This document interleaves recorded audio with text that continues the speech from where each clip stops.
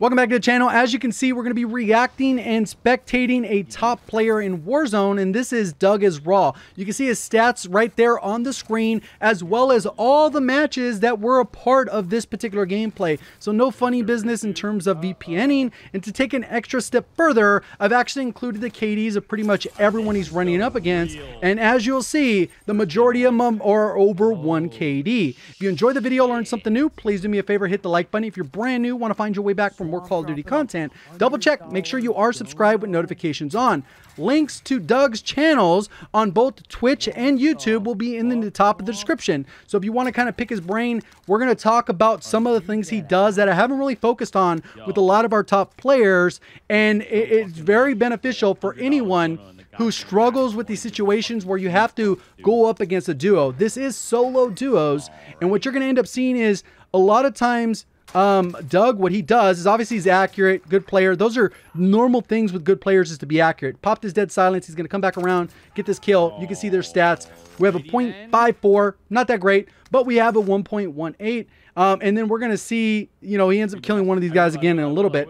But what I did want to focus on is one of the things that he does really great is compartmentalizing gunfights. And what I mean by that is he breaks a 4v1 into a 3v1 to a 2v1 into a 1v1 and pretty much throughout that process he's trying to force the engagement so he can get his gunfights essentially so every gunfight is a 1v1 in rapid succession where he gets the opportunity to reload plate and position himself so that he could take as least damage as possible while getting the downs, not getting greedy with a thirst. Um, we'll kind of see how that plays out. There's a lot of situations in this gameplay where it'll be like, yep, that was a, an awesome play. He played it the right way. And one of the things that blew up Doug way back in the day, he was known as one of the best, if not the best, blackout player. So if you're a fan of blackout, you already know who Doug is Raw is.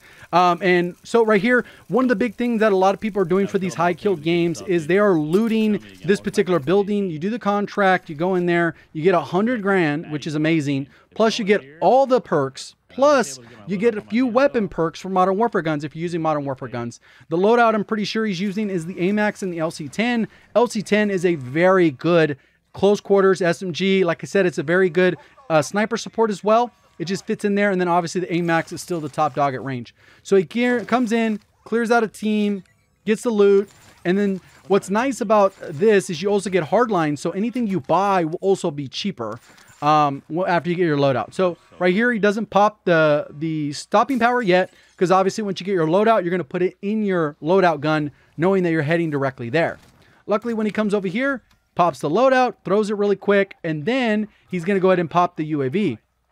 So he has the UAV, and there's like two people immediately on him. These could be stream snipers. These things happen all the time. Literally, the timing of this, he comes out, and you can see he doesn't over peek. He comes out, boom, and getting drops right over to the right. So he just kind of already had his spot. So you can see the guy on the mini map takes him out, mounts. Uh, he utilizes mounting. I think there's a lot of people that don't utilize that quite as much. Um, obviously, it's not the, the perfect for cover because your body still sticks out but it's just one of those things. Um, earlier, when he was looting, he did throw down a bouncing Betty, which we're going to see come back to give him a free kill. But it's just one of those things that it's worth grabbing and picking up as you go. Um, so right there, calling in a super UAV, um, just get a kind of an idea of where everyone's at on the map. And then what most of the top players will do is they're going to go to the biggest congestion of players so they can get the rack up the kills. Um, and that's just kind of a normal thing there. So he jumps in the Bertha. We've seen this a lot of times with our other top players. The, the game is a lot about economy. So he got the kill there. And somehow the guy, I think he jumps and falls to his death. I'm not sure exactly what happens, but the guy ended up dying. And that was the same player from earlier, 1.18. There's another guy right here. He comes through. You can see he kind of jumps and then strafes back into it. Pretty basic gunfight. The other guy bunny hopped into it. Um, and that guy was a 1.05 KD player with 58 wins and about 2% win ratio. So now you can see he's going to push over to stadium. And there's a lot of times these aggression where they're pushing up, but they're also trying to third party. Uh, so anytime you see gunfire on your map, you generally want to push that as aggressive as possible. And that's why suppressors and ghosts are so important. So you don't get third party. So he downed a couple, uh, he downed one player there on the right, and then he downed another one on the left. There's two different teams here. He ended up finishing that guy off, which had a 1.06. He ends up shooting this, keeping in mind that with the specialist bonus, you're getting um, FMJ. Um, and not a lot of people realize how broken FMJ is. And we're going to kind of wrap around back to that a little bit later on in the game. But if you end up with the specialist bonus, one, contracts are very valuable because of point man. But FMJ allows you to just wallbang stuff that you wouldn't normally do. And then you also get an opportunity to down, destroy vehicles. That's a pretty basic move. A 1.44 KD player, um, he just rolled up on him, jumped out, and a lot of times the animation, we've seen this. Uh, aggressive players are very comfortable when their vehicle is full health, especially with the Bertha. Um, they push, jump out, and take that person out. In a 2v1, a little bit less practical. Um, you don't see it quite as often, but you can use the vehicle as cover. Just got to be careful you don't run yourself over when you're doing that, right? So he comes out, takes out one. He's looking around. He gets fully plated so that he can re-challenge his gunfight. He can see that the guy's selfing. He ends up downing, re-challenging the left, and then finishing off the right. Those guys, 1.19, 1.09 KDs, with combined about 70 kills there. So pretty clean. He's already on an 11 kill game, which is definitely high for, for the vast majority of people who play. And even though you might not have his accuracy, you might not have his movement, you might not have the game sense, we break down the individual scenarios, how they're done, because it's kind of like a, a, crash course on how you handle certain engagements. Obviously, if he was playing solo trios or solo quads, you would handle it a little bit differently because you'd have to be aware of that third person or that fourth. You can see that guy just landed down. The elevation was higher, so the guy picked up floor loot. He ended up buying the guy back, or maybe he was gliding down from somewhere. Either way, now there's two things and this guy's in the vehicle. So he starts banging, you know, basically wall banging the vehicle, if you want to call it that, takes this guy down. This guy was a 1.41, and then he peaks the air because what happens is a lot of times if you look in the sky, the person won't render, but when you actually aim down sight, you get that render visibility. Um, so that's why he's doing that. And he still has 100K. The other part that stacks with it, like I said, with Hardline, the UAVs, to get a super UAV is only 9 grand versus 12. So it allows you to just push the pace. Um, that's why a lot of times in these, they're not even picking up contracts anymore to take them off track. They're literally just getting super UAV and pushing as fast as possible to try and rack up the kills. So obviously you got to be comfortable your gunfights. You're going to lose a lot of these gunfights. He himself probably had to learn how to lose a lot of these gunfights to get really good at them because he, he used to be a former pro BR player in H1Z1 um, and, and has had a lot of success in in battle royales, and he just kind of built different. Where he has those reps, he just sees the situations differently. An absolute Kobe machine. Like every nade he throws is like perfect and on point. You can see this team was another 1.12 and a 1.06. A little bit different guys than we saw earlier. They were coming down, 19 kills combined. And this is a typical lobby that I think the vast majority of average to above average players get in, um, where you're dealing with these types of scenarios. You can see where he's already looking at the map. You can see that some people are by the loadout. There's some people, or not by the loadout, but on the opposite side of the loadout. And then there's some people farther right in, in downtown. So he's already at four, not downtown, but neighborhood. So he, he sees there's two teams here um, because there's a vehicle pushing. There's another team here. He kind of splits the difference. Comes through. This guy is still trying to be peek on that. He didn't realize he had jumped out. He snaps on the other guy. These are two separate teams. That's two separate team wipes. Uh, 0.81 KD was the first guy. A 1.24 was the second guy. So he's already on to a great game. He's pushing the pace. Um, and like we said, vehicles are really important. He doesn't have a trophy. So a lot of times when you push up on someone, you're either going to take the risk where, you know, the, the person is going to throw a C4 um, or, you know, you're just going to not be risky and then push back off, jump out of the vehicle beforehand. So he gets it nice, easy down here. Then by the time he realizes he gets shot in the back uh, by some guy just crouch walking, not crouch walking, but ADS walking. So he couldn't be seen. By the time he came up, it was too late. That player that took him out was a 1.42, and we're going to see that guy pop up again because he will get his revenge. Um, the other part that we've seen from a lot of these top players is they win the gulags. One is you got to be super accurate with the gulags. Um, you got to be because the health is diminished. So you got to play your life a little bit slower, and a lot of times that's what you'll see them do. Is they generally like will be pre-aiming a little bit more because the TTK is actually faster than it takes you to aim down sight. So even if you have the best reaction time, it's kind of hard to win those gunfights um, if you do not have the first you know draw. He still has seventeen thousand dollars because you keep a lot of your money, and then here he is with the stoner, 120 rounds, pre aims, waits, the guy just happens to run out. Sometimes people will head glitch on that car, and that's kind of where he was pre-aiming. And that guy was in attack sprint, literally had no chance. By the time he came around the corner, he was done. So he's gonna come back, either go for the loadout, one, um, or he can just try to get the guns that are in that area because there are a lot of guns, and then play his situation because he did kill the guy with the AMAX, and then he shot the other guy in the back with the LC-10, I believe. Um, so now he's just coming back, getting his loadout. A lot of high kill games are ended by that gulag loss. So if you're playing solo, you just got to focus on getting better at gulags. Um, and generally, it requires playing a little bit more passive and patient, waiting for your enemy to give audio cues, because generally the gulag is pretty silent says, unless people are throwing rocks at you. So he comes around, perfect timing. He just ends up seeing the guy in the back. I know it's a little bit blurry because of the way the image is recorded, but I guarantee you on their screen at the right resolution, they're seeing people in front of them a little bit better.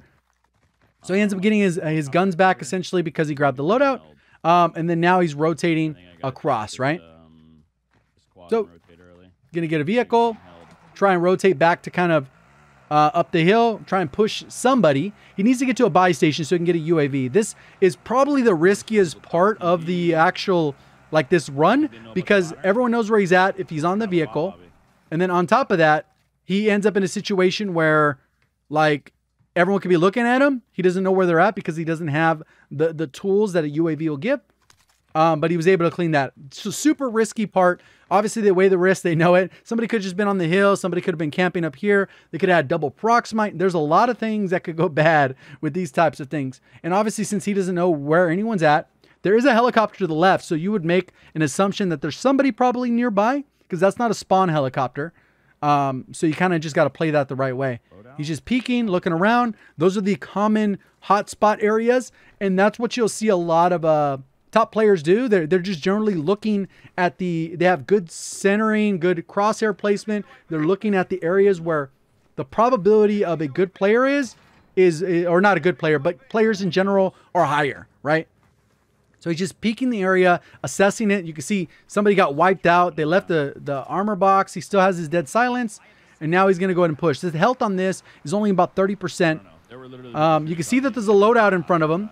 So maybe that means those people will probably be touching and that there's generally two people because most people don't buy a loadout when they're down a player, right?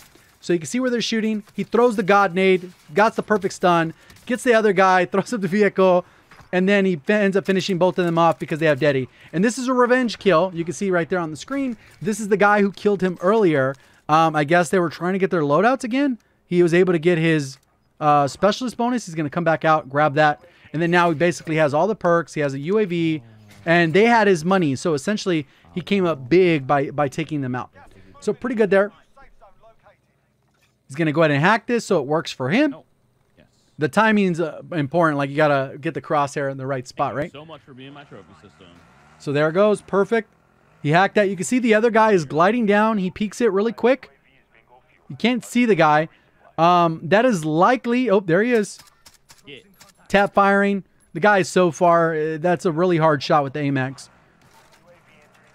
So either way, he knows that that guy, uh, he can hold him because the guy will likely land where that loot is, right? He's just waiting to kind of bait the guy and hopefully get the guy on an easy kill. So he got a self-revive, a UAV. Getting more UAVs, paying attention what's going on. And these little lulls happen, um, but this is all as a result. This could have easily been as you'll see, it could have been like a 45, 50 kill game if he doesn't die to that guy in the back because he already has one down. He'll probably get the next one that's on top of the building, ends up snapping and destroying that dude. And that's the second time he killed that dude who ended up killing him. So he got his revenge in full. So you can see where it's at. There's still a lot of players left. Um, and a lot of these high kill games is a little bit RNG. It's just random luck. Um, because it's like who, how many engagements are going to happen where you can actually push it. It looks like he's going to third party this because it looked like somebody was coming in. He's peeking. You can see he's using the rock as cover. Somebody shot the RPG. I guess they were trying to shoot him. He comes through, almost dies, but since he has all the perks, his health comes back fully because of the quick fix. So it comes in super clutch. He, you can see he's playing the different angles. That guy tries to melee him. He plays the situation, takes the guy out.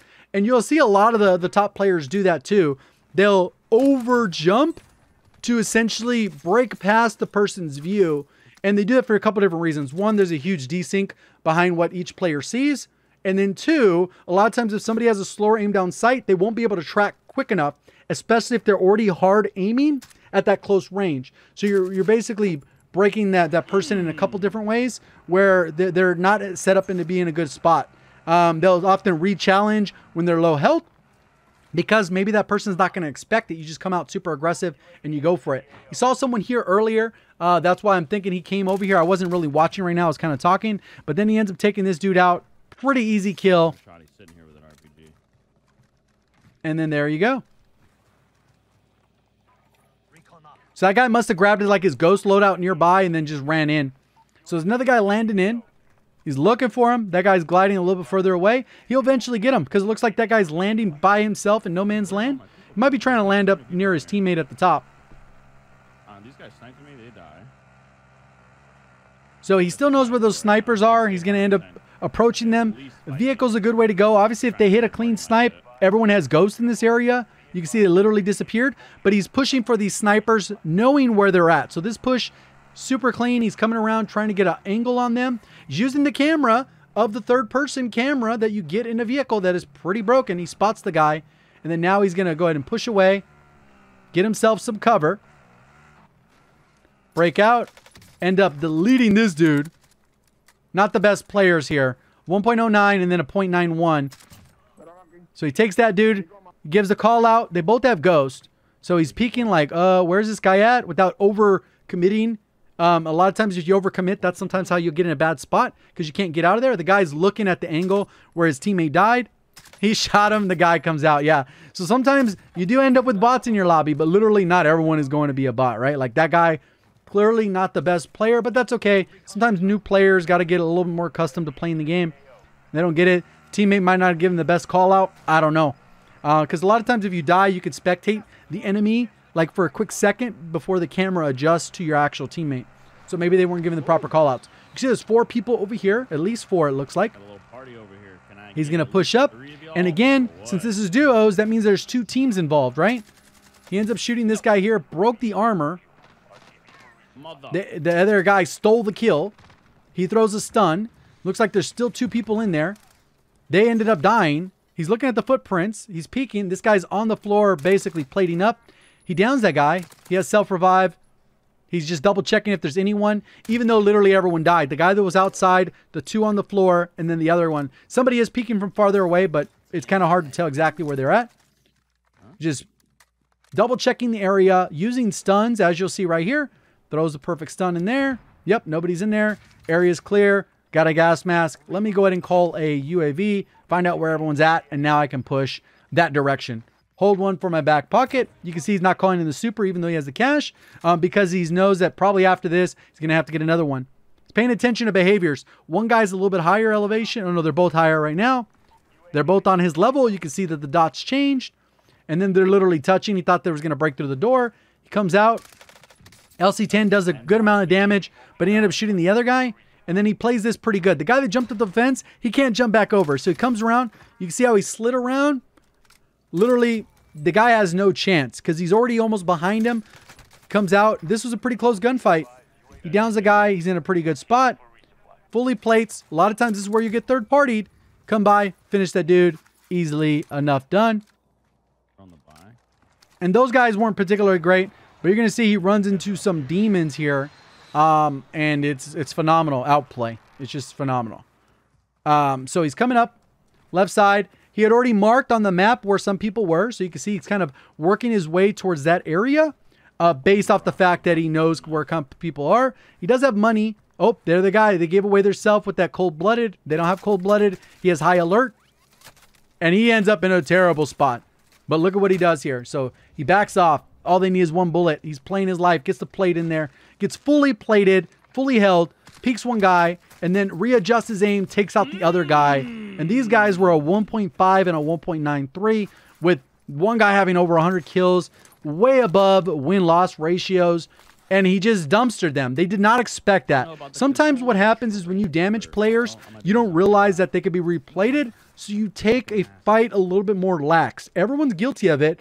Like when you think someone's one shot, maybe you jump around the corner. If that's why bait and switch works so good because you're like, oh, It should be one shot. And then his teammate comes back and you're like, all right, cool. I just need to land one shot. And then you get destroyed because you weren't expecting it. But you know what I mean? Like it, those trade offs can throw you off. And when you get lax, you will lose a gunfight. You just will. That's kind of how it goes. Um, but he handled it perfectly. He was literally one bullet away. And no one can say, hey, my people shoot back or whatever. That's, you know, literally he has everyone shooting back at him when he's in the fight. He gets sniped here. He plates up.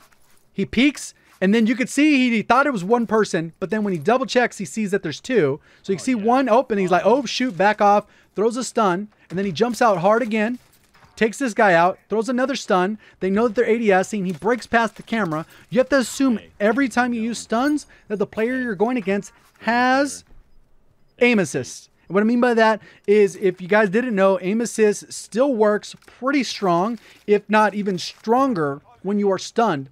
So if the player crosses the middle of your screen while you're stunned, you'll essentially be a lock on, which I don't think that's the way it should be. I think it should be nerfed to actually be like where it really disorients you and maybe for less time. They got to just rework it because literally if he stuns and then jumps back out and that person's where their ADS, they can track and they'll literally land every shot, no matter how bad or good that player is. Literally, if they're ADS, it'll track because of how the stun mechanic works and the fact you're moving. You get this super aim assist, I guess you would call it.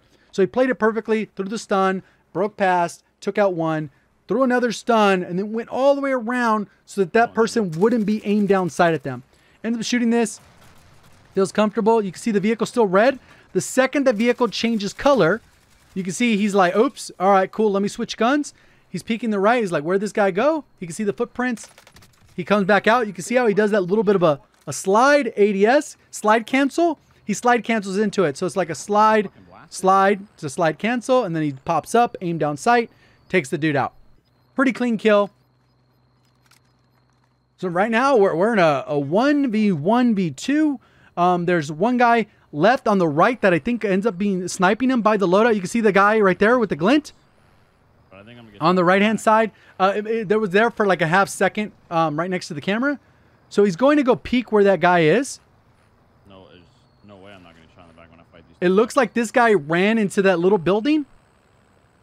And this is where FMJ comes in. So if you have specialist bonus, definitely run FMJ. I mean, definitely run like be be aware that you can shoot through almost anything. So he knows kind of where that guy's at. He's going to double check it. He throws this in case he gets something shot at him. This is obviously that person's loadout or maybe some other people on the map. He said, I can wallbang this. Literally shoots. And it's a little small, narrow area. The guy ends up running. He gets the kill. And this is a guy he killed earlier as well, I believe. 0.9 KD, 9 wins, 1 uh, one win percentage. These guys choke. Um, they have the high ground. They actually they have positive KDs. Uh, one quick shout out: check out his links near the top of the description. I know a lot of people click away when people pull off the win. Go check out his channel on Twitch. Let him know I sent you for YouTube and Twitch. So he takes out this first guy. He mounted, try to get a clean kill. He's pushing the distance, and this this nade is just so beautiful. Uh, you see it thrown perfectly. He's right at the cover, breaks the line of sight, reloads, boom, gets the guy finished aim down sight, takes him out, and that is a dub. A 37 kill, 11,000 damage game.